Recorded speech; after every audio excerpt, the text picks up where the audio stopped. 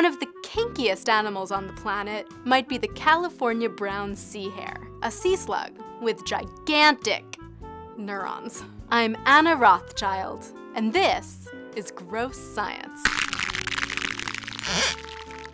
The California brown sea hare, also called Aplysia californica, is a type of sea slug that lives off the coast of California and in parts of northern Mexico. It eats algae that makes it pretty toxic, so it doesn't have a ton of natural predators. However, if another animal does happen to spook it, the sea hare squirts sticky, bright purple ink at its assailant, which personally is a defense mechanism that I would love to have.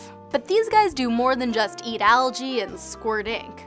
They also have quite edgy sex. Aplysia are hermaphrodites and have both male and female reproductive organs. When they mate, they sometimes form long mating chains of up to 20 individuals. Whoa. The sea hare at the front of the chain acts as a female, and the one at the back of the chain acts as a male. But all the sea slugs in between act as both males and females. They inseminate the partner in front of them while receiving sperm from the one behind. It's really quite a time saver when you think about it. Anyway, scientists get pretty excited about aplysia. Not so much for their mating habits, but more for their brains. The sea hare's nervous system is made up of a small number of very large neurons, making Aplysia californica an excellent neuroscience test subject. In fact, the scientist Eric Kandel used aplysia to study how memories are stored. And thanks to that kinky little sea slug, he won a Nobel Prize for his work.